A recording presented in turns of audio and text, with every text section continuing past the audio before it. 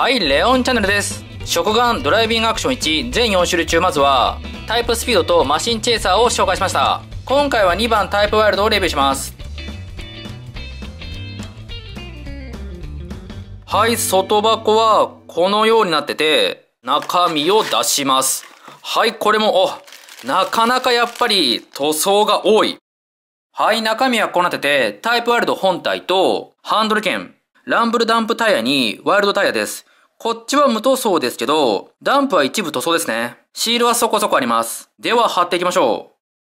はい、5分ほどでシールが貼れました。あとは、右肩にワイルドタイヤをつけて、ハンドル剣を持たせれば、完成ドライブタイプワイルドです。はい、タイプスピードに続いて、今回のワイルドも、色分けバッチリですね。はい、全体は、こんな感じ。後ろ側も、成形色がメタリックっぽくなってて、アンダースーツのカラーもいい感じですし、タイヤもなかなかごついですね。はい、近づいてみるとこうで、顔周りのこの塗装の色分けも良くって、ちゃんとアーマーパーツがブラックに全部塗られてますね。ただ基本の体型はタイプスピードと共通ですから、若干体型がシャープです。まあそれでも、ベルト周りのメタリックもいいですし、ハンドル剣も何気にくるっと回ります。そして可動は共通ですから、首、両腕、下半身もグリグリと動きます。で、足裏に穴があって、腰の裏にも穴があります。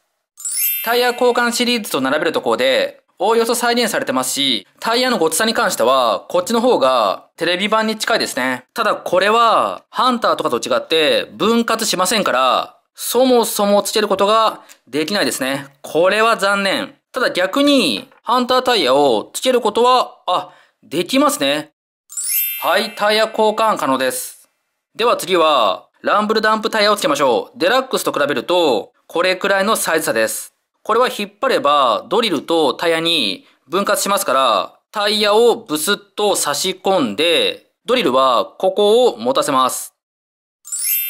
付け替えはデラックス並みに簡単ですね。ただ、これもやっぱり反対側はこうなってますから、見る角度によってはちょっと微妙になりますね。タイプスピードには取り付け不可なんですけど、武器パーツは問題なく持てますし、他のパーツはちゃんと互換性がありますね。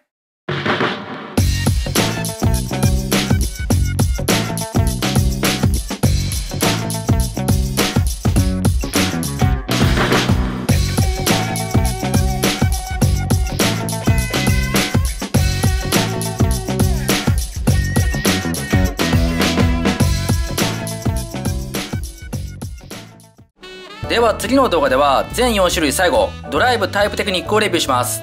以上食玩ドライビングアクション1ドライブタイプワイルドの紹介でした。